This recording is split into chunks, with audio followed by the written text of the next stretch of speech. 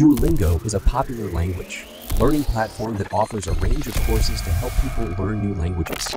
One of the features that users of Duolingo can take advantage of is the ability to use promo codes to access premium features or discounts on subscriptions. If you are interested in generating a Duolingo promo code, there are a few steps you can take. First, you will need to find a reliable Duolingo promo code generator tool. There are many such tools available online, so you will need to do some research to find one that suits your need. Once you have found a Duolingo promo code generator that you trust, you can use it to generate a code. This process typically involves entering some basic information, such as your email address and selecting the type of code you would like to generate.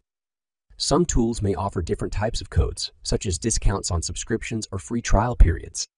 After you have generated your Duolingo promo code, you can enter it on the Duolingo website or app to access your discount or premium features. It is important to note that some promo codes may have expiration dates or other restrictions, so be sure to read the terms and conditions carefully before using your code.